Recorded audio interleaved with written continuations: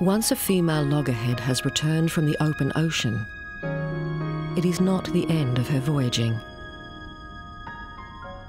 She remains in the same feeding area for more than a decade before instinctively she makes another journey, the first of many.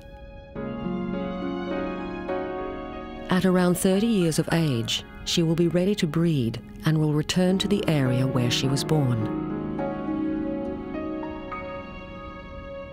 A female may swim for hundreds of kilometres to her nesting beach, and so must have the energy reserves for her voyage.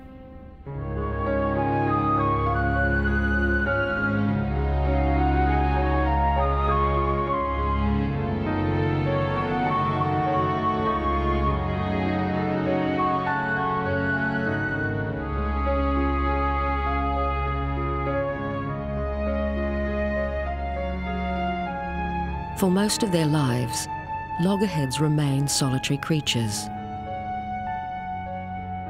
This male has come too close to where an adult female forages. In the lead up to her breeding season, she has no hesitation in letting him know whose patch of coral this is. Then she swims guard around it.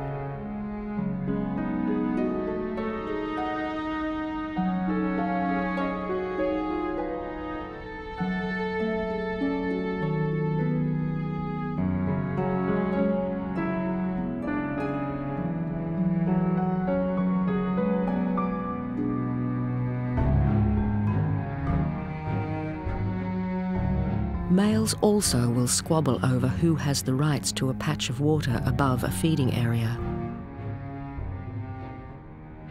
Serious damage can easily be inflicted by jaws that can crunch through thick clamshells.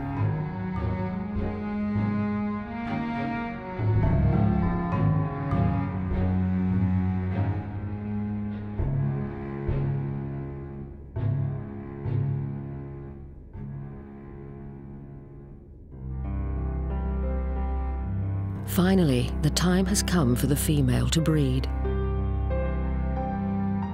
As she swims, she senses the magnetic forces that were imprinted upon her as a hatchling.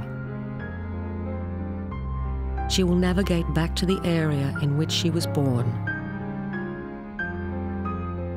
And Col Limpus now thinks she will then choose which beach to lay her eggs in. She will return to that beach every nesting season. Male loggerheads swim directly to areas that they know females must pass through on their journey.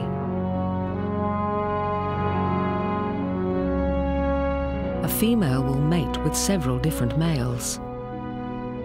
The sperm is stored in her body, so she can fertilize the clutches she will lay in her nesting season.